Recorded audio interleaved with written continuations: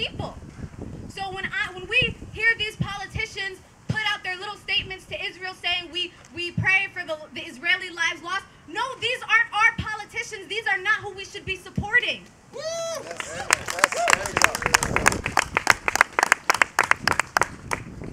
It is imperative that we know what Palestinians are doing now is what the world has been doing.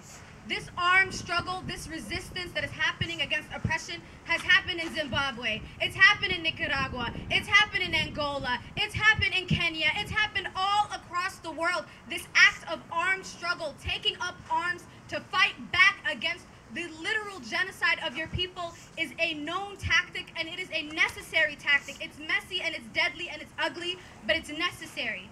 So I just want to say unequivocally that I stand with the people of Palestine, that my friends and my family in Palestine, I, I stand with you and I love you. And I hope that Rochester and the world can all continue to stand and fight against this and fight in order to, to demand that the United States pull their funding from Israel because we don't call on it enough. We need to demand for the boycott, divestment, and sanctions of what U.S. is funding directly in Israel. U.S. imperialism and colonialism, it's a model for all these other countries, and we're not calling on it enough.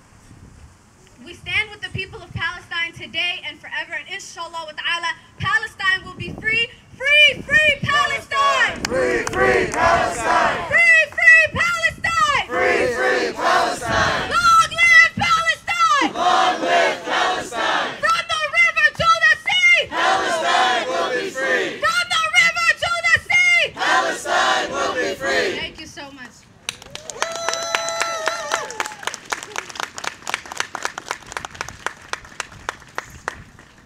Thank you so much, Halima. As Halima just mentioned,